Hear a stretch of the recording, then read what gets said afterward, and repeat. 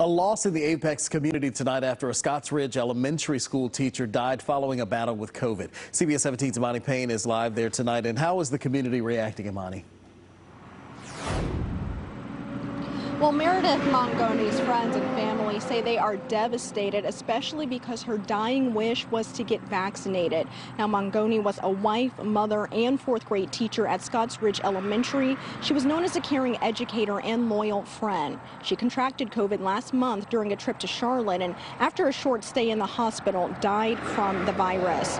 During that time, she texted with her friend Christy, a fellow teacher at the school, asking that she help her daughter get vaccinated and expressing regret that she waited to get the vaccine herself. Christy says she'll never forget that final message. I should have gotten vaccinated. I was so dumb. I'll be getting vaccinated when I get out of here, hopefully in three weeks.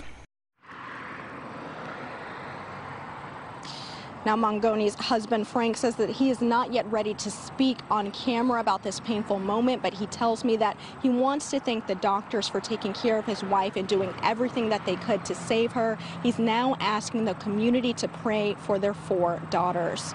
For now, we're live in Apex. Imani Payne, CBS 17 News. Yeah, this is absolutely heartbreaking. Uh, the daughter cheers at my daughter's cheer gym, mm -hmm. very well known in the cheer community, and so it's just been, you yeah. know, going through and um, very heartbreaking for those four children and the husband. So Absolutely, our prayers are with that family. All right.